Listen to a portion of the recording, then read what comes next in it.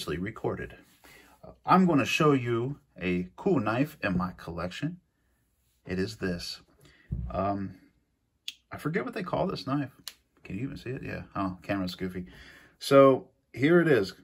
This is made by Otter-Messer of Germany. And this thing is unique. Uh, where did I get this from? I don't remember where I got it. This has a green bone handle, uh, a very small little blade here, and uh, has a little place here for your finger. It's kind of neat. You see how that is? Or you can, you know. It's stainless steel. It's German, rust-free, rust-free. Something like that. Solingen Germany.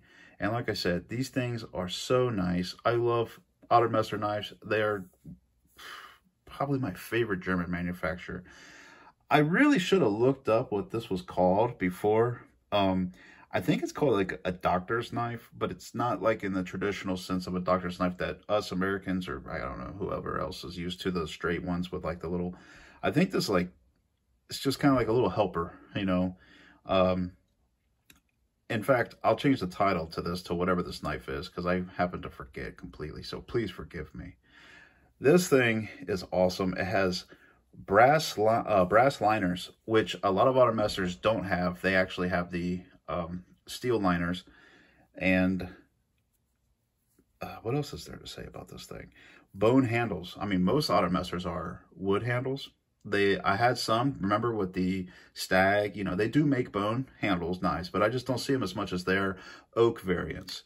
So this little guy is super attractive, very small. Got my measuring tape out. Let's check this out. So the handle, yeah, this is pre-surgery. so the handle itself is about three and a quarter. Yeah, about three and a quarter. If you take it from here back, you got about mm, just under four inches. And I'm assuming that's how you would hold this. Now the blade, the actual blade blade itself, we're looking at just under two inches. Yeah, just under two inches. You can see that. So it's not a very big blade, but this is a great knife for putting in your pocket. I really enjoy it. No half stops. I haven't seen an Otter-Messer with a half stop yet. Closed length is three and a quarter. So it's not a very big knife, but it's big enough to enjoy. It's big enough, I mean, you could take this to the office and not scare people. The fit finish is always good. I do believe this one's a little proud on on its closed position. Yeah, it's a little proud. You see that? The the mainspring. But that doesn't bother me. These things were, these is not very expensive. It's Heck, I think it was cheaper than a case knife. So, very cool. Has a great snap. Listen to this thing. It's amazing spring. Here we go. Listen. Boom. Very cool. Has the great Otter-Messer etching on there. And I just love these. These things like a jade green. It's so nice the packaging that it came in, this this dye actually rubbed off on the packaging is kind of stained green. So it must have been fresh, freshly made and then packaged. Look at that. It's just so seamless. I like it when they're built this well. Otter-Messer is just such a nice knife. Such a great traditional knife company. I wish we had more of their stuff in America. I would love to be a, like a dealer for these guys. I really would. I don't know if the demand is completely there, but you know, I put, I've sold almost every single Otter-Messer I had. I think I have like one left, which I plan on just keeping, that I had to sell. Obviously, this I bought for myself after the, I quit selling.